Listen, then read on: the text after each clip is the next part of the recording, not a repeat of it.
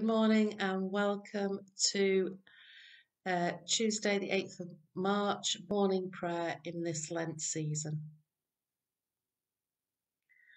O Lord, open our lips, and our mouths shall proclaim your praise. Hear our voice, O Lord, according to your faithful love, according to the judgment, give us life. Blessed are you, God of compassion and mercy. To you be praise and glory forever. In the darkness of our sin, your light breaks forth like dawn, and your healing springs up for deliverance. As we rejoice in the gift of your saving help, sustain us with your bountiful spirit, and open our lips to sing your praise. Blessed be God, Father, Son, and Holy Spirit. Blessed be God forever. The night has passed and the day lies open before us, so let us pray with one heart and mind. As we rejoice in the gift of this new day, so may the light of your presence, O God, set our hearts on fire with love for you, now and forever. Amen. Hear the words of Psalm 44. We have heard with our ears, O God, our forebears have told us, all that you did in their days in time of old. How with your hand you drove out nations and planted us in, and broke the power of peoples and set us free. For not by their own sword did our ancestors take the land, nor did their own arm save them, but by your right hand, your arm, and the light of your countenance, because you were gracious to them. You are my King and my God, whom commanded salvation for, for Jacob. Through you we drove back our adversaries. Through your name we trod down our foes. For I did not trust in my bow. It was not my own sword that saved me. It was you that saved us from our enemies and put our adversaries to shame. We gloried in God all the day long and were ever praising your name. But now you have rejected us and brought us to shame and go not out with our armies. You have made us turn our backs on our enemies, and our enemies have despoiled us. You have made us like sheep to be slaughtered, and have scattered us among the nations. You have sold your people for a pittance, and made no profit on their sale. You have made us a taunt of our neighbours, the scorn and derision of those around us. You have made us a byword among the nations. Among the peoples they wag their heads. My confusion is daily before me. My shame has covered my face. At the taunts of the slanderer and reveller, at the sight of the enemy and avenger. All this has come upon us, though we have not forgotten you, and have not played false to your covenant. Our hearts have not turned back, nor our steps gone out of our way. Yet you have crushed us in the haunt of the jackals, and covered us in the shadow of death if we have forgotten the name of our God or stretched out our hands to any strange God, will not God search it out? For he knows the secrets of our heart. For your sake we are killed all day long and are counted as sheep for the slaughter. Rise up, why sleep, O Lord? Awake and do not reject us for forever. Why do you hide your face and forget our grief and oppression? Our soul, our soul is bowed down to the dust, and our belly claves to the earth. Rise up, O Lord, to help us, and redeem us in the sake of your steadfast love. Rise up, O Lord, to help us. In the darkness of unknowing, when your love seems absent, draw near to us, O God, in Christ forsaken, in Christ risen, our Redeemer and our Lord. All glory to the Father, and to the Son, and to the Holy Spirit, as it was in the beginning, is now, and shall be forever. Amen. Lord Almighty and God of our ancestors, you have made the heaven and earth in all their glory. All things tremble with awe at your presence, before your great and mighty power. Immeasurable and unsearchable is your promised mercy, for you are God most high. You are full of compassion, long suffering, and very merciful. and you relent at human suffering. O God, according to your great goodness, you have promised forgiveness for repentance to those who have sinned against you. The sins I have committed against you are more in number than the sands of the sea. I, have, I am not worthy to look up to the height of heaven because of the multitude of my iniquities. And now I bend the knee of my heart before you, imploring your kindness upon me. I have sinned, O God, I have sinned, and acknowledge my transgressions. Unworthy as I am, you will save me, according to your great mercy. For the host of heavens sings your praise, and your glory is for ever and ever. Glory to the Father, and to the Son, and to the Holy Spirit, as it was in the beginning, and shall be for ever. Amen. Full of compassion and mercy and love is God, the Most High, the Almighty. Our reading is taken from Galatians uh, chapter 4, verses 8 to 20. Formerly, when you did not know God, you were enslaved to beings that were by nature are not gods.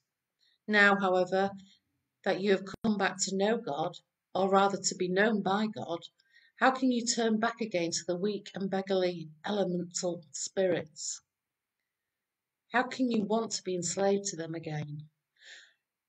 You are observing special days and months and seasons and years. I'm afraid that my work for you may have been wasted. Friends, I beg you, become as I am, for I am also have become as you are. You've done me no wrong. You know that because it was because of a physical infirmity that I first announced the gospel to you. Though my conditions put you to the test, you did not, did not scorn or despise me, but welcomed me as an angel of God, as Christ Jesus. What has become of the goodwill you felt? For I testify that, had it been possible, you would have torn out your eyes and given them to me. Have I now become your enemy by telling you the truth? They make much of you, but for no good purpose. They want to exclude you so that you may make much of them. It is good to be in much of a good purpose at all times, and not only when I am present with you. My little children, for whom I am again in the pain of childbirth until Christ is formed in you, I wish I were present with you now and could change my tone, for I am perplexed about you. To you, O Lord, I lift up my soul. O my God, in you I trust. You are the God of my salvation. To you, O Lord, I lift up my soul. In you I hope all the day long. O my God, in you I trust. Remember, Lord, your compassion and love, for they are from everlasting. To you, Lord, I lift my soul. O my God, in you I trust.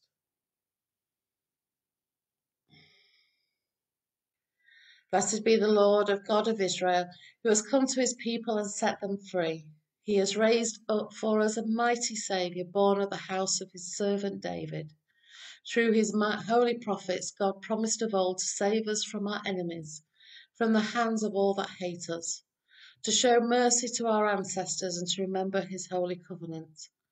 This was the oath God swore to his father Abraham to set us free from the hands of his enemies, free to worship him without fear, holy and righteous in his sight all the days of our life. And you, child, shall be called the prophet of the Most High, for you will go before the Lord to prepare his way, to give his people knowledge of salvation by the forgiveness of all their sins in the tender compassion of our God, the dawn from on high shall break upon us, to shine on those who dwell in darkness and in the shadow of death, and guide our feet into the way of peace. Glory to the Father, and to the Son, and to the Holy Spirit, as it was now in the beginning, is now, and shall be for ever. Amen. I will give you shepherds after my own heart, who will feed you with knowledge and understanding. Now we come to our prayers of intercessions. Our Lord, as we start this new day in a world of turmoil, we ask for your peace upon the nations. We pray particularly for Ukraine and its peoples. Lord, bring your peace upon that nation. Bring the world leaders to a place of compromise and unity. Lord, in your mercy, hear our prayer. Lord, we pray for our church and particular persecuted Christians. Again, this day, bring your revival upon their uh, country so that they may be free to worship you. Lord, in your mercy, hear our prayer. We pray for those that are sick in mind, body, and spirit this morning.